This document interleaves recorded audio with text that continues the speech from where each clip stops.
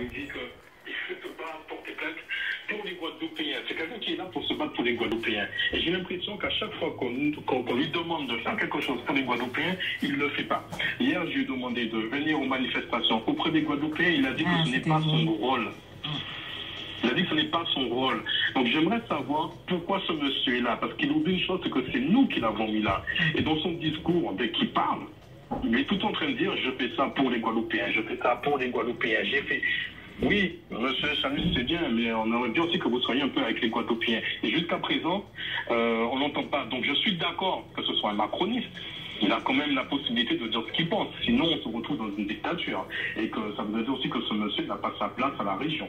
Oula.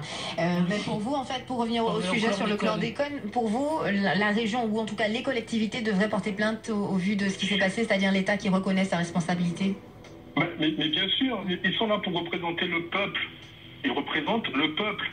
Il y a des gens qui vont pas le faire parce qu'ils ont peut-être peur, parce qu'ils n'ont pas les moyens, ils savent pas. Mais eux, ils voient, ils voient le peuple en train de mourir parce qu'ils ont été contaminés. C'était reconnu dans le rapport que tout le monde a vu que l'État est reconnu coupable.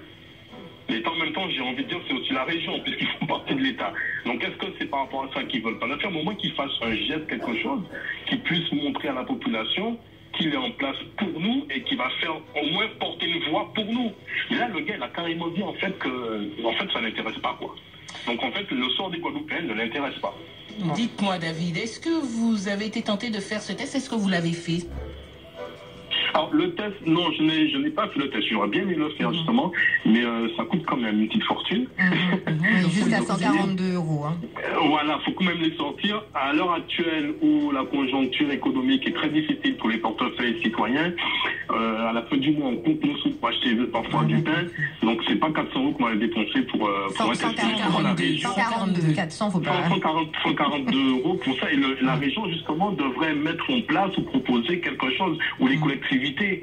Parce qu'encore une fois, c'est encore le peuple qui subit tout ça, les erreurs de nos élus. Et il y a des- il y, a des Même mutuelles. ce Hein, pas euh, directement euh, M. Chalus qui a, qui a fait ça, on sait à quelle époque que ça a été accepté, que c'était renouvelé. Mais euh, voilà.